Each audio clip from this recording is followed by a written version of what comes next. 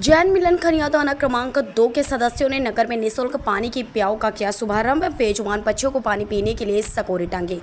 जैन मिलन खनिया थाना क्रमांक दो के कार्यकर्ताओं ने जल मंदिर का उद्घाटन कर राहगीरों के लिए निःशुल्क पानी की प्याव की व्यवस्था की गई। इन दिनों 45 डिग्री तापमान की चिलचिलाती धूप, उमस व लू के चलते राहगीरों व बाज़ार आने वाले लोगों को पीने के पानी की दिक्कत, दोपहर में तेज गर्म हवा चलने से प्यास के मारे लोग इधर उधर पानी की तलाश में भटकते रहते हैं। इसी को देखते हुए जैन मिलन ने राहगीरों के लिए जल मंदिर के माध्यम से निःशुल्क शीतल जल की व्यवस्था की गई, ताकि राहगीरों को सुलभ तरीके से पेयजल मिल सके व लोगों की प्यास बुझ सके। जैन मिलन खनियाधाना द्वारा नगर के मुख्य मार्गों मेन बाज़ार किले के पास पुरानी नगर पालिका चौराहा आचार्य विद्यासागर रोड और खलक सिंह जुदेव चौराहे पर जल मंदिर प्रारंभ कर शीतल जल की व्यवस्था की है, जिससे इस भीषण गर्मी में आने वाले राहगीरों को जलपान की सुविधा प्राप्त हो सके। निःशुल्क प्याऊ के शुभारंभ अवसर पर मौजूद लोगों द्वारा इस अनुकरणीय कार्य की सराहना की गई।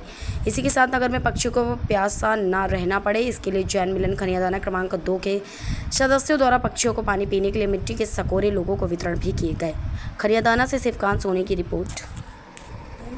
ये प्याऊ लगाई गई है नगर में। किस संस्था के द्वारा लगाई गई है और क्या ये कार्यक्रम है? भारतीय जैन मिलन की शाखा क्षेत्र क्रमांक दो की शाखा खनिया थाना के अंतर्गत इस भीषण तपती गर्मी में राहगीरों को के मन को तंत्र- संतृप्त करने के लिए यह प्याऊ जगह जगह निर्धारित स्थानों पर जैन मिलन के सक्रिय कार्यकर्ताओं द्वारा यह संचालित की जा रही हैं। खनिया धाना के ऐसे पाँच छः स्थान हमने चिन्हित किए हैं जहाँ पर राहगीरों की अधिकाधिक बहुतायत संख्या में राहगीर आते हैं वहाँ पर उनके मन को संतृप्त करने के लिए उन्हें शीतल जल की व्यवस्था इस भीषण गर्मी में हो सके इसके लिए यह जगह जगह जगह निर्धारित स्थानों पर प्याऊ की सुविधाएँ की जा रही हैं। जैसे कि ये स्थान कहाँ कहाँ पर है? यह स्थान एक तो जो महाराजा खलक सिंह जूदेव चौराहा पर है एक अपने गुड़र रोड पर है नगर पालिका चौराहा पर है गांधी चौक पर है और किले के पास है। पाँच जगह है। पाँच जगह है।